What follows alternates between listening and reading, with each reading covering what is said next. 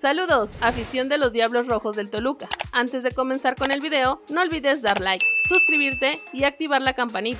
Sin más por el momento, iniciamos. El auxiliar técnico Luis Ernesto Pérez dio el visto bueno al desempeño de los Diablos ante Pumas en el debut en la Copa Sky, aunque advirtió que buscarán ir mejorando. El desempeño de los Diablos Rojos en el encuentro con Pumas que marcó su presentación en la Copa Sky y terminó con empate 1 a 1 en el Olímpico Universitario, dejó sensaciones positivas en el equipo de Toluca, aseguró el auxiliar técnico Luis Ernesto Pérez, quien consideró que el equipo irá mejorando partido a partido para llegar al 100% al primer encuentro del torneo Clausura 2023 en el que enfrentarán al Atlas.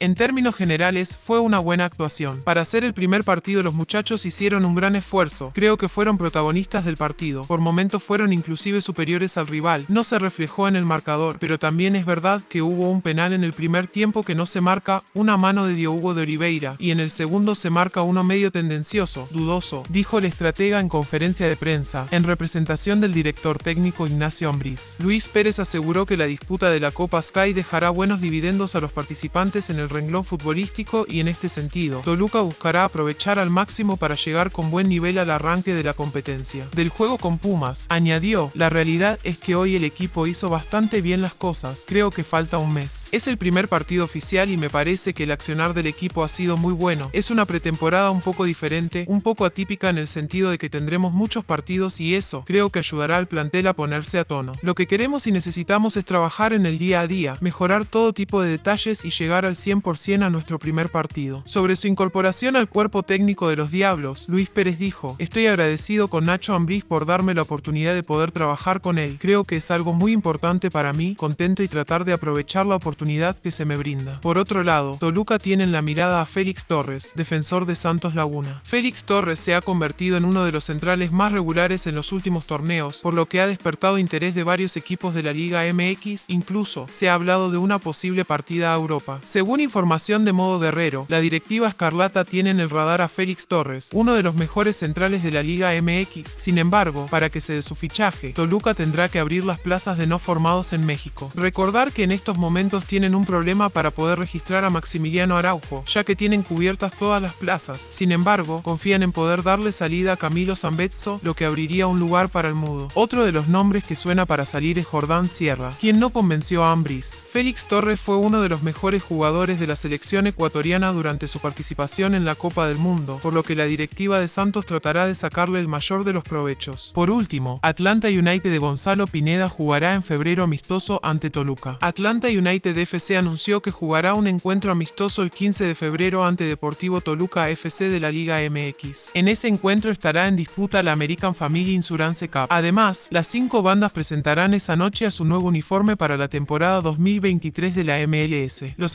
aficionados que asistan al estadio ese día podrán adquirir la nueva playera del equipo entrenado por Gonzalo Pineda. La American Family Insurance Cup de 2023 será la primera vez en la historia que se enfrenten Atlanta United y Toluca, que ha ganado la Liga MX en 10 ocasiones y fue subcampeón de la Apertura 2022, cayendo ante el Pachuca.